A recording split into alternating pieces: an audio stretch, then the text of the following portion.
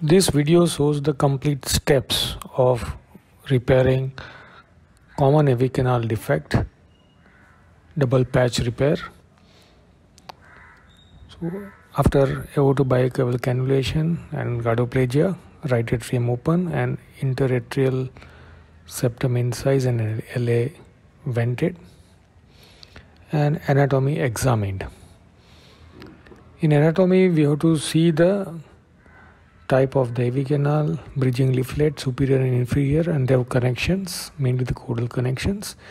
And once you know the chordal connections, you can identify the upper edge of the superior and inferior leaflet. There you can place the stay suture, followed by lower edge. Uh, you can pay, place the stay sutures, and this will help you out for the creating the anterior leaflet of mitral valve. The lower edge normally can identified by the chordal attachment to the papillary muscle. Here you can see in the uh, video also and then you can take the stitch identification stitch of both leaflet. Normally the approximation of the bridging leaflet we do later on after the VSD closure. So next step is the VSD closure. So in this step, we use 60 pro pledgeted stitch, multiple stitch we used, and the first stitch we take at the inferior edge of the VSD after passing the stitch from the RV side of the septum we pass the same stitch to the bridging leaflet and later on this stitch will pass to the pericardial patch for the ASD closure also. This is a very important stitch and a very important step to prevent the conduction injury. So later on I'll explain again when I'm closing the ASD with the same stitch. After that you have to uh, do the measurement of the VSD length and the breadth and we use the silk thread for that. For breadth the chordal length uh, is the breadth of the VSD we try exact length because uh, it will help us to reduce the septal uh, part of the annulus also mitral annulus and it will help in a uh, good coaptation for the mitral valve so after that multiple stitches 60 pledgeted pass to the right ventricular side of the septum and the same stitch pass to the VSD patch which is a 0.4 mm PTFE patch. And patch was brought it down and uh, below the chordal attachment we normally keep it. So the chordal anatomy will not uh, disturb when we are taking the multiple stages.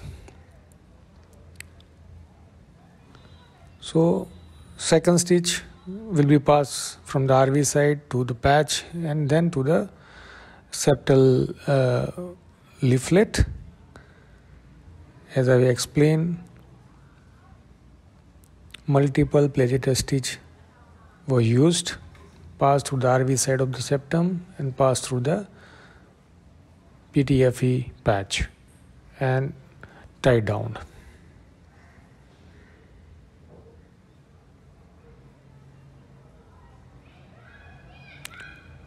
Same over and over again. We have done the same stitch to the RV side of the septum and to the patch. At superior edge at the corner we can trim the VSD patch and once we tie down the stitch we can pass the same stitch to the septal leaflet and that was that will be used for the closure of ASD later on.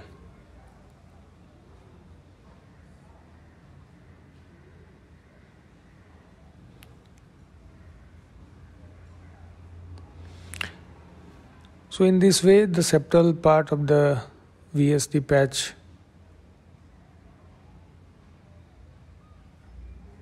has been stitched.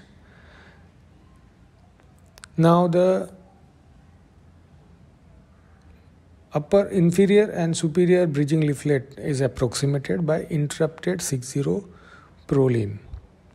As we have already taken the stitch before, it is very easy to approximate and the next step is closing the ASD patch with the autologous glutaraldehyde treated pericardium. We use 60 stitch which has passed from the PTFE patch, then bridging leaflet and the pericardial patch. So as I told you initially, the first stitch which we have used from RV bridging leaflet and to the pericardial patch was tied down.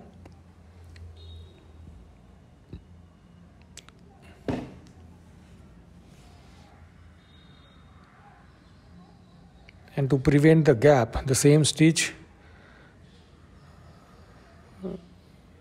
we have taken in and out and tie down again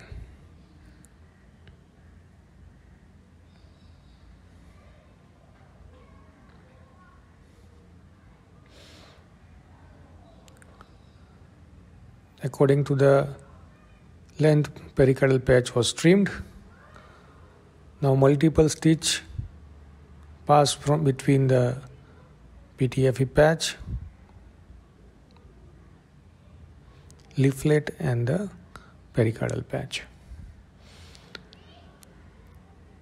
You close completely in this way all up to superior edge multiple stitch was used which has been passed between the PTFE patch, leaflet and the pericardium.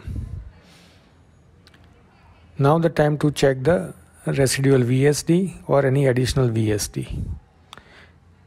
So the saline was injected into the LV and checked from the RV side. Now here there was no leak so we are proceeding to close the ASD. From the inferior side the we use mitral annulus as a marking for closing the ASD to prevent the injury. We normally maintain the normal anatomy. We don't put coronary sinus to the left side. So the stitch what we used is the first stitch which we have used pass through the mitral annulus and continues down. After one or two stitch we used suture posterior suture annuloplasty for mitral valve. Every AV canal repair mitral annuloplasty is important because it maintain the re uh, repair very well and it reduce the stress on the leaflet. Use 50 pledgeted stitch and after placing the adequate Hegar we tied that.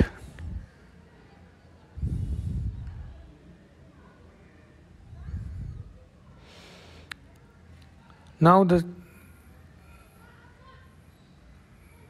fixing the suture again with the pericardium. Now the time to check the mitral valve saline injected in mitral to see any leak is there or any prolapse. It looks really good. After that we'll check the tricuspid valve. And at this stage if any uh, deficient leaflet in the septal side of the tricuspid valve we take the sum stitch. Here in this case there was tricuspid valve leak was mild to moderate. So we continued closing the ASD ASD continuous suture technique pass from the pericardium, mitral annulus and similar fashion once you come to the interatrial septum it become a safe area.